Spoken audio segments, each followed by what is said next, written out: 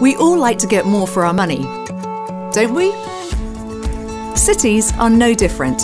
Just like you and I, they spend money to meet their needs.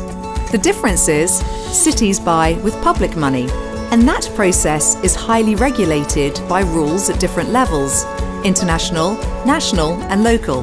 This is what we call public procurement.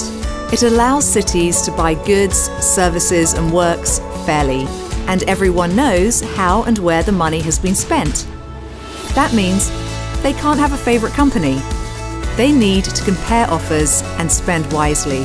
But, just like when we go shopping, the lowest price often wins.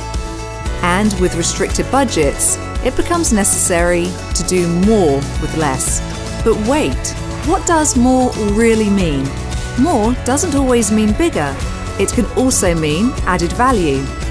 So that whenever cities buy, whether it's paper, cleaning services, or roadworks, they could consider reducing their environmental impact, encouraging small businesses to create jobs, or improving workers' skills.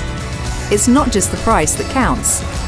This way, not only can a city buy what it needs, but it can also provide added benefits for its citizens, the economy, and environment.